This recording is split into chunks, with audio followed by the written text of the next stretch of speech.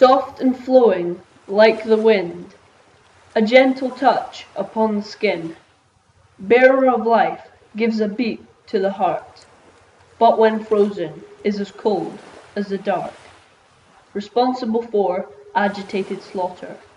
It can't be anything but water. Shimmers and sparkles in the moonlight, heralds hope that shines ever bright, nurtures growth and sponsors strength, covers land, length by length. Beloved home, to the otter, it can't be anything but water. Thief of lives, presenter of poison, like a snake in the horizon, a club smashing down in a heavy downpour, as strong as a pestle colliding with the mortar, the tiniest trickle that causes a splutter.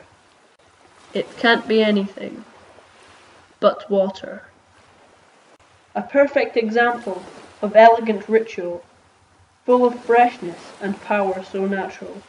A box of rainbows, a complex prism, creator of the perfect vision, conductor of painless torture. It can't be anything but water.